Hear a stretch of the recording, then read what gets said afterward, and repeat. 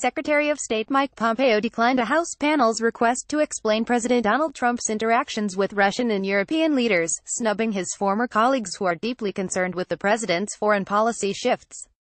Pompeo, a former House GOP lawmaker, turned down an invitation to testify before the House Foreign Affairs Committee by citing a scheduling conflict, according to three sources familiar with the matter story continued below Pompeo, however, will appear before the Senate Foreign Relations Committee on Wednesday, angering House Republicans who also want answers.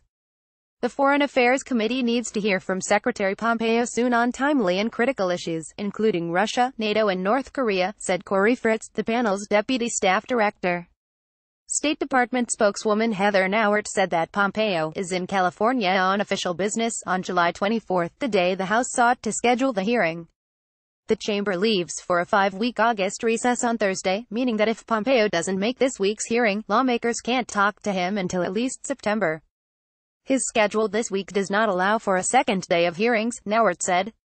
He holds both chambers in high regard and looks forward to continued cooperation with Congress. By signing up you agree to receive email newsletters or alerts from Politico. You can unsubscribe at any time.